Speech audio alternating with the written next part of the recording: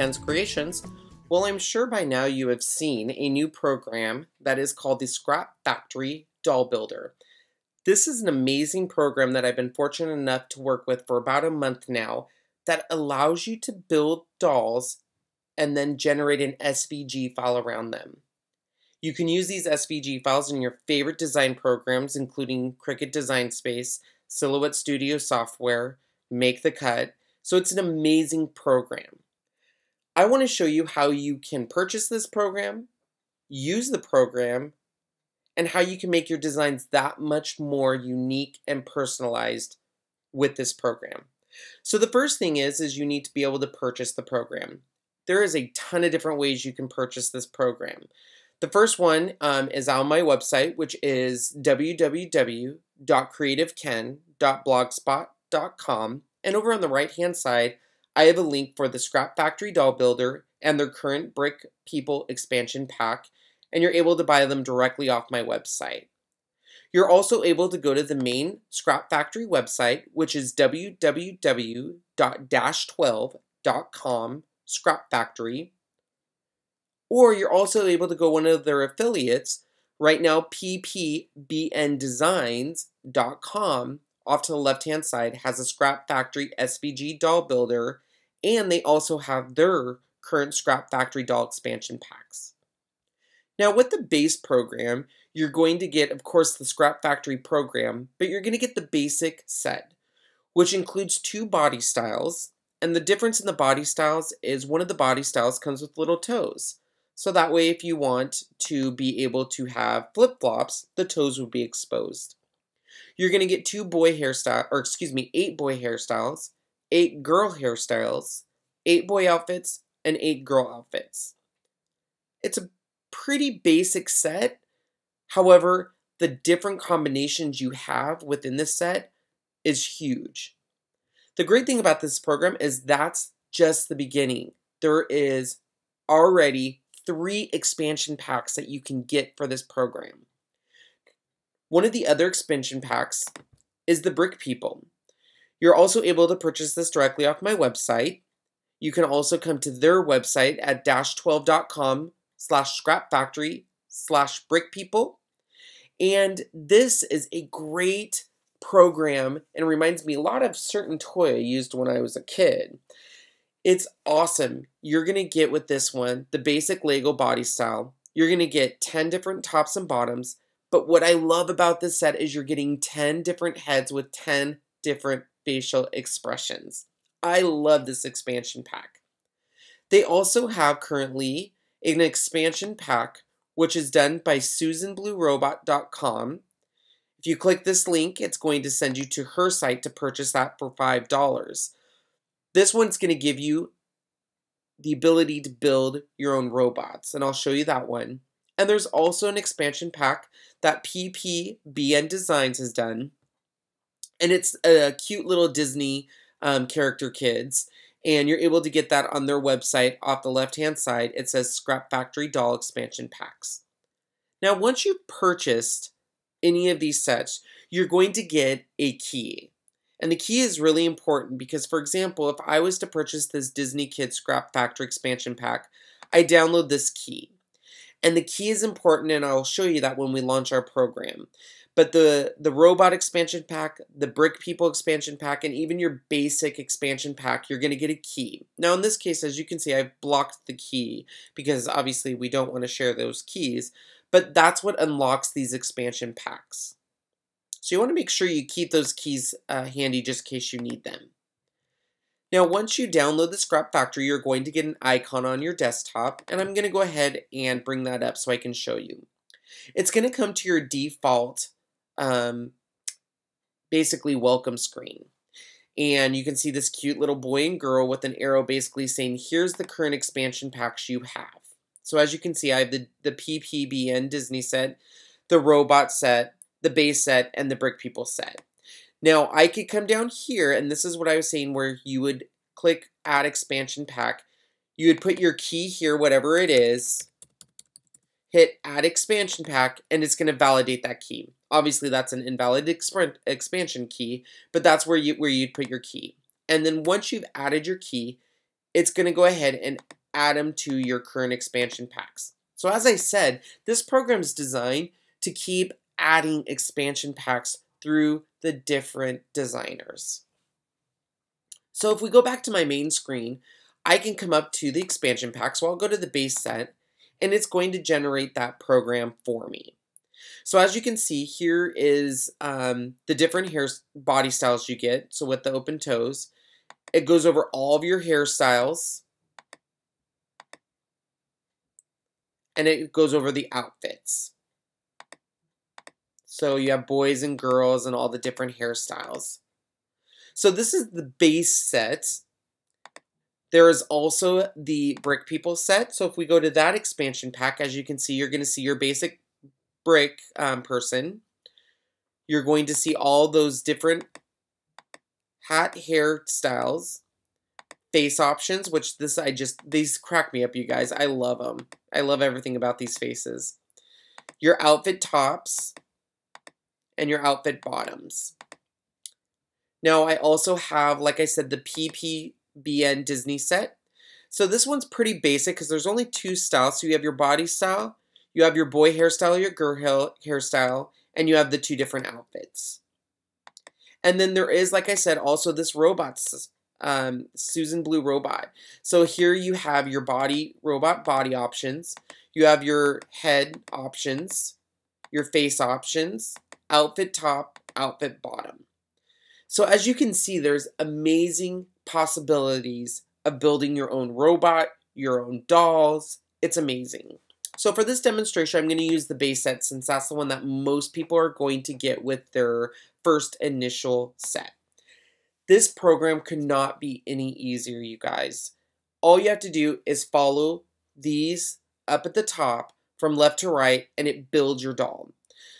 So let's go ahead and um, I want no open toes. I just want shoes. So I'm going to select that first. I'm going to go to my hairstyle. So do I want a boy or a girl? So I can go down and look at all these different hairstyles and pick the one I like. So I have messy hair, so I'm going to go with the Patrick style. And then I just select my outfit. So I come down here and I basically find the outfit I like, which I love this little, I work as a, a bank manager, so this is perfect. Once I've picked all my different categories, I just hit generate SVG it's going to pop up and say, where do you want to save this? I want to save it to my desktop, and I want to save this as a boy doll. And I'm just going to hit save. Over here, it saved my SVG file. So as you can see, here's my SVG file. Now, if I wanted to go back and create different ones, I could. I could come to the robot one, and let's see, I want to go ahead and use this body I like that head. I'm going to use those arms and those legs. Once again, generate SVG and just hit robot. Save. Easy as that, it saves it to my desktop. Now, once you've saved it, you can go ahead and minimize this program and bring up whatever program you're using, whether it be Design Space, Silhouette Studio software, Make the Cut. For this demonstration, I'm going to use my two programs that I use. So with Design Space, you're going to be able to go into um, your Cricut software and log in. You're going to upload your image over here to the left. It's going to bring up what kind of image are you uploading. So we're going to go ahead and say this is a vector file. And then all I have to do is browse. So I know I saved that to my desktop. So I'm going to go ahead and go to my desktop. I'm going to go ahead and import that ball, boy doll first, and it shows my picture. I'm going to hit choose. It's going to bring up over here a, a uh, um, picture of what it is. I can put boy doll, and then I can put my tag. So I could say, you know, um, scrap factory, so that way it categorizes it for me. I can say boy doll, uh, dress suit, and then I'm going to save image. Now, it's obviously going to save it um, and go back to this vector file and you're going to see your image down here. So there's my image. But it's also now going to be in my images library. So if I get out of here and I go into insert images, I would be able to find it that way. And since one of my keywords was Scrap Factory, it's going to bring up all my Scrap Factory files. So there's my guy. So once I have selected him and inserted him, as you can see, here is the file. Now on here you have your base doll set. You have all of the pieces of the doll. So you have his head, his arms, his hands, his legs. You have his whole outfit broken down over here. And then you also have his hair. Now, they've also shown you how all the pieces go together on the outfit. So on Design Space, I can do this a couple different ways. Um, first, I want to size it. So right now, if I was to go over to edit, it's going to tell me the size of this whole area. Well, if I want my doll a certain size, I obviously want to um, ungroup this at first. And my doll is right now 2.4 inches. So if I wanted to make him bigger, obviously I'm going to click and drag down here to make it bigger. The key to this is you want to keep everything in size with each other. So I don't want to obviously size the body without sizing all of his clothes and pieces. So right now, if I was to ungroup this, my doll is 3.72. So if I want to make sure he is 5, I would just keep going until I get to the size that I like. And 4.88 is good. Now, obviously, I want to get rid of, I can either get rid of all these separate pieces or I can get rid of this outfit because we don't want to cut it twice. So I'm going to go and select that and get rid of that. And guess what? That's it. I can hit go. I'm ready to hit go and Design Space does everything else for me. It's going to separate my pieces. It's going to go ahead and lay it on the mat. It's basically going to, based on the colors that I've assigned to it, break it all down for me. So I'm ready to go ahead and um, put my paper on my mat and hit cut and we're ready to go. Same thing on the robot I designed. So let's go ahead and get rid of this guy.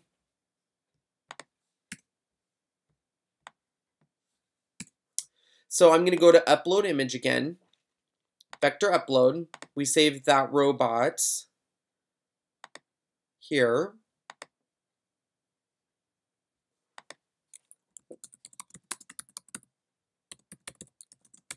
Put in my keywords, hit save image.